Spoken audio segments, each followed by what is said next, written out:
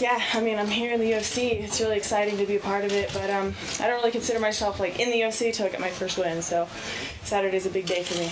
What's the build-up been like for you? I mean, you've dealt with a lot of media attention before, but I mean, this is a dream that didn't even seem possible like a year ago, and now it is. So, what's the build-up been like for you? I'm trying to just keep it level. You know, I don't want to get anything too much in my head. I just want to be relaxed. Um, I want to have fun with it. Um, it's very similar to the way Strikeforce is run since Zuffa bought it out. So the process is all the same. You know, I actually think I had to do more media when I fought Ronda. So even so, you know, I'm used to it. It's definitely not my first rodeo, so I feel right at home. A lot on the line here, obviously. I mean, a UFC win would be huge. A rematch with Ronda would be huge. I'm sure an, an opportunity to coach would be huge. I mean, how do you rank those things? Are they all of equal importance, or is there one aspect that really means more than all? Becoming a champion means more to me than anything. More than a rematch, more than anything. Because that's something that when I'm 80 years old someday and I have kids and grandkids, I can look back and say, look, this is this is what I did. This is my accomplishment. So that's my ultimate goal. Do you feel, as being the second women's fight in the UFC, that there's a lot of pressure being put on you to really be impressive in this fight? There is, but I can't accept that kind of pressure because it would just be too much. I realize there's going to be a lot of eyes on me, but I really feel like if I just go out there and fight my hardest, that it'll be an impressive performance and an impressive win.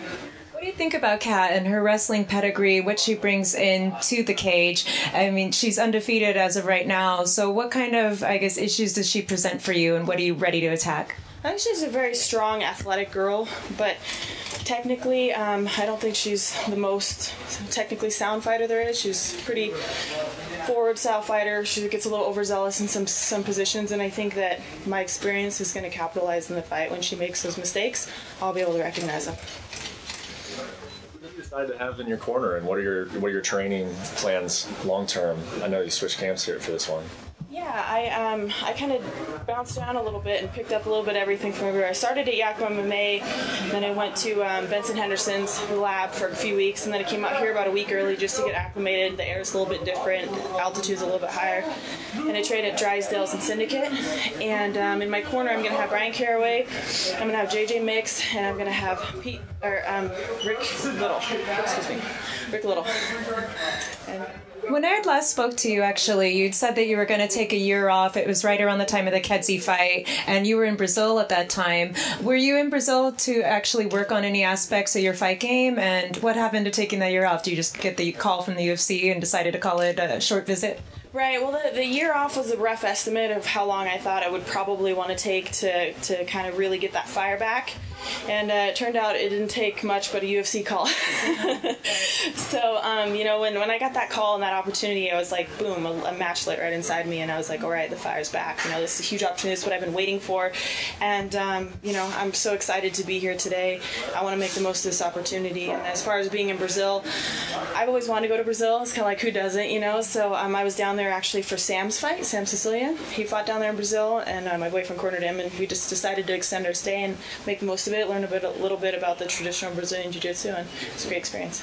It was just a year ago, I guess, that you were still really lobbying for this and being really outspoken about, you know, women getting into the UFC. Looking back at that, I mean, is it surreal that it was just a year ago? And, and was there a moment where you felt like what you were saying really started to get through? Yeah, it is surreal. I, I can definitely um, admit to that. Uh, it, I didn't expect it to come so soon, but I did believe in women's MMA, and I believed that someday it would be here in the UFC. I thought it was probably still another year out from now, but things move really quickly, and um, I think we're ready for it. And I think that everyone's going to be really surprised with the turnout. I think we're going to have a lot of women coming and trying out for the next Ultimate Fighter.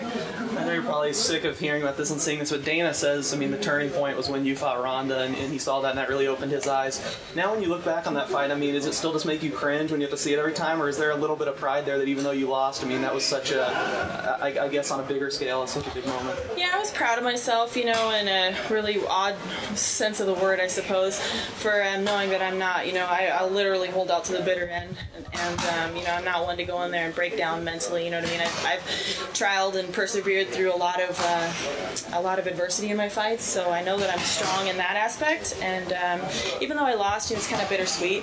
I don't think necessarily, you know, that was the fight for me to win. I think this is the fight for me to win, and I think the fact that I lost to Ronda the first time leads to a bigger fight now and a bigger opportunity. So I think everything happens for a reason. When one door closes, another opens. So. What, you make of Ronda's comments that she'd prefer to coach against you if she could pick one or the other, and she's kind of rooting for you now? What did you make about that? That made me like her a little bit more. a little bit more. Just a little. Yeah, we have one more thing we can agree on. I think that tallies two now. no, but um, yeah, I mean, she knows. She knows that we have a good rivalry, and I think it will make good for good publicity, good TV. I think everyone would love to see that, and uh, I think it's perfect. Her and I, you know, it's like coaches against each other or teams against each other, and then a rematch. It's just sounds like the dream. Does it bother you they potentially coaching future opponents? Not at all, actually. You know, I really was thinking about that. Um, I think I would learn more about those girls coming into the, the, the division than they would learn about me. You know what I mean? I may coach and help them, but I'll be able to see how well they pick things up, what they're coming to bring the table with. You know what I mean? I'm going to see them training every single day. So um, if it really boils down to that, you know, I want to look at it that aspect. I really think that it would benefit me more than them. You've been plugging away, you know, just trying to get the UFC, you know, you've moved in the UFC for longer than anybody really. You've been at the top level for so long. Does it bother you how much credit Ronda gets for that when, you know, she's kind of a newcomer to it and you've been doing it for a lot longer? You know, Ronda put in her work and she just was able to get there very quickly, you know, and, and I can't blame her for that. You know, I would say if I was in her shoes, I'd probably do the same thing. But it, um, I, it's irritating at myself because that I wish that I could have done more. But the only way to, to fix that is to put one foot in front of the other and to keep going. And you know, I can't I can't hate on Ronda for her success. I just have to want to get there too, you know.